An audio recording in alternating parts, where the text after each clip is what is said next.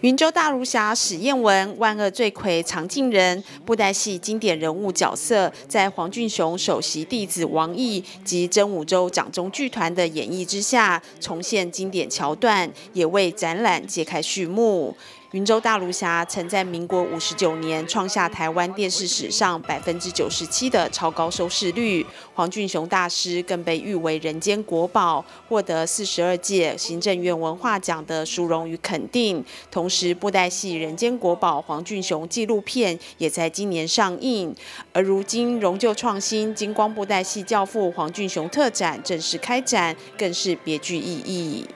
呃，布袋戏，呃，我们家族已经传承到第五代。那，呃，其实传承在这个时代来讲，非常的不容易，因为现在的娱乐形态太多了。所以，呃，布袋戏它最缺乏的，以目前的状况来讲，就是新的群众。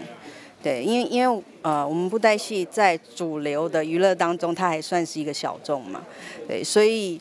啊，今天这个展对我们来说很有意义，是。希望可以吸引更多呃，比如说 Y 世代啊、Z 世代的年轻人来了解布袋戏。那其实布袋戏它有啊很多呃许多有内涵的内容，然后呃很多艺术层面的东西。那希望可以吸引更多年轻人他们啊来加入我们的行列这样子。呃，关于创新，其实我们呃金光布袋戏已经。做了呃非常多代的改变了，自从我父亲把啊从八寸偶改到呃十二寸、十八寸、二十二，甚至到三尺三的偶，然后从呃不会就是呃固定的眼球改到现在是有眼睑的这种电视偶，那还有到后来上电视之后做了一些特效啊，然后还有结合动画等等。这些改变都一直在做。那父亲给我们的呃教育就是，布莱西他一定要随着这个时代。现在这个时代流行什么，我们就得追上它。对，比如说现在呃最夯的就是 AI，所以呃未来我们也会呃跟 AI 做配合，来做布莱西的创新。啊，我们这个特展叫做“融旧创新”啊。当初我们艺文处跟曾汝洲、跟黄小姐还有王艳老师，我们在谈的时候，其实我们的想法就是说，在整个台湾这个本土的这个传统戏曲、布袋戏、掌中戏的一个发展当中，黄俊雄大师他所扮演的就是一个融旧创新的角色。也就是说，黄俊雄大师他对于我们这个本土的布袋戏的一个发展，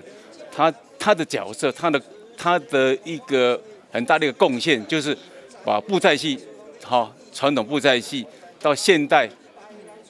创到现在这个这个这布这布袋戏，它是一个可以融合过去传统的精神，然后有开创新一代的一个布袋戏这样的一个发展。所以这个讲叫做融旧创新，是代表黄俊雄大师他在台湾布袋戏的一个发展一个推广当中。他扮演这个重要的角色，意义在这个地方。哎，那当我们希望这是一个开始，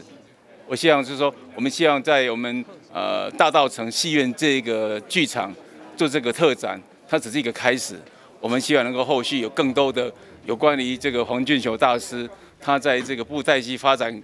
这个过程当中他的贡献、他的创意，我们继续的做一些推广，让台湾我们的下一代或下下一代能够认识。很难得的，我们台湾本土的这个传统艺术价值。特展以金光布袋戏教父黄俊雄传承创新布袋戏的脉络为主轴，展出剧本手稿、收藏文物、作品精华片段，以及三代同堂口白传承的珍贵影像记录，让参观民众了解人间国宝黄俊雄的生平事迹。而展场更搭设主题实景，重现招牌主角史艳文、藏镜人、黑白郎君的经典决战时刻。呃，我们有一些就是早期的偶头啊，其实是那个呃我们的非常忠实的戏迷，他协助我们提供的。对，那这些偶头它都是原来的样子，它没有重新粉刷过，就是在五零年代的时候一直留到现在。那还有一些像是呃呃，我相信大家都知道，就是布袋戏歌曲是电视布袋戏里面很重要的元素。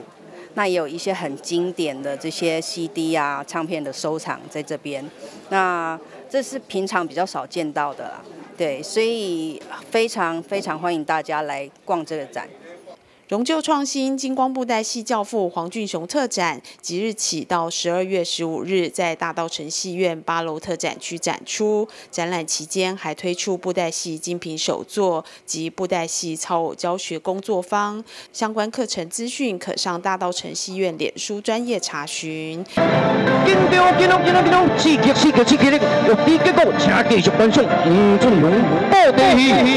记者林希慧台北报道。